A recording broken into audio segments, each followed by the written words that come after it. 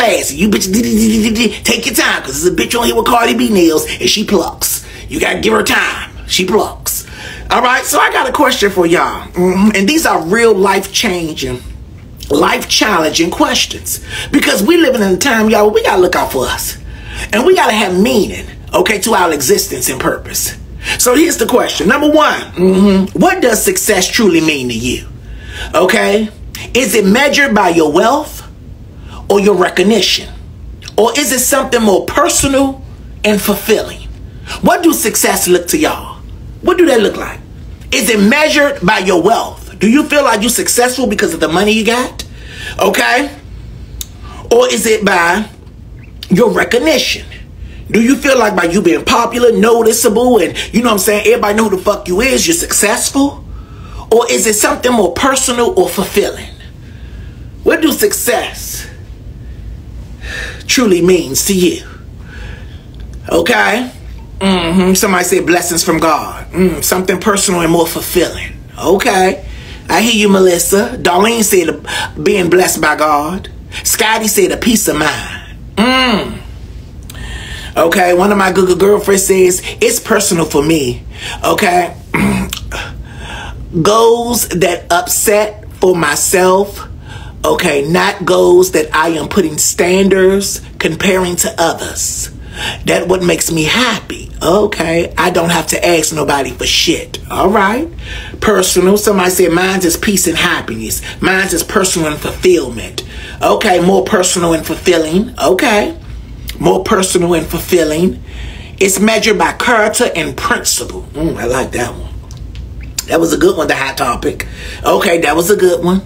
Somebody said debt free.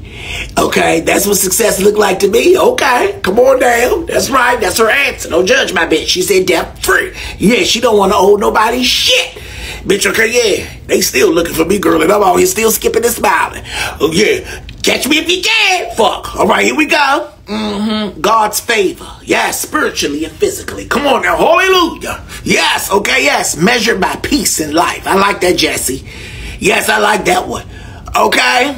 Nefertiti says, mm-hmm. Nefertiti says, okay, it's something and personal and fulfilling. The hard times and the fact that you never give up. Okay?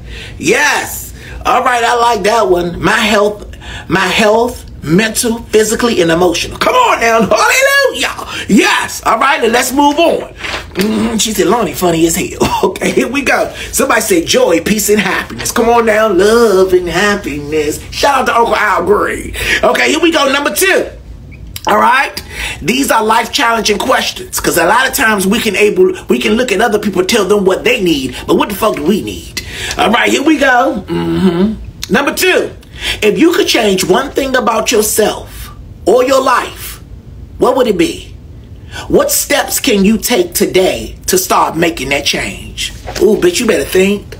Auntie Riri just showed up. You better think. Auntie Riri just showed up. Let me read that again. Take your time for you fast typing bitches. Take your time. Here we go. Mm-hmm. Hold on. Take your time for you fast typing bitches. Hold on. Mm-hmm. Number two, if you could change one thing about yourself or your life, what would it be? What steps can you take today to start making that change? Okay, somebody came on here being real. Okay, Maya. Maya says being able to forgive and heal, finding peace. Mm, that's a real one. It's hard for people to forgive.